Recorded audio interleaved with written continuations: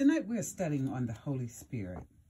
And one of the questions that's asked in the book, The Holy Spirit by John Bevere, is that, so, what are some of the main things you can expect the Holy Spirit to reveal to you? Carefully read Jesus' words in John chapter 14, verse 26, in John 15, 26, and in John 16, 12 through 15.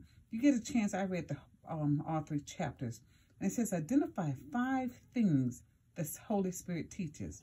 The five things I wrote down, the Holy Spirit will teach us everything and bring back to our remembrance what Jesus said, as long as we're reading the Word of God. Two, the Holy Spirit will tell us about Jesus so we can tell others.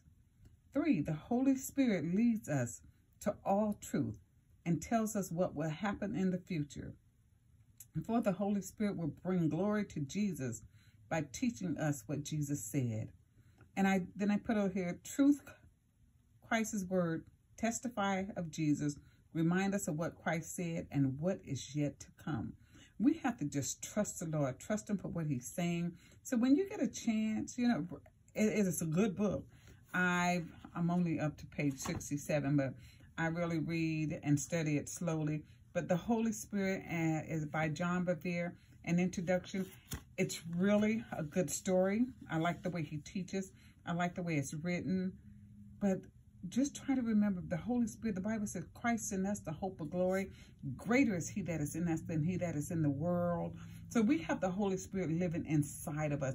We have the word of God living inside of us. But in order to make that word come to life, in order for the Holy Spirit to bring it back to our remembrance, we have to read the Word of God.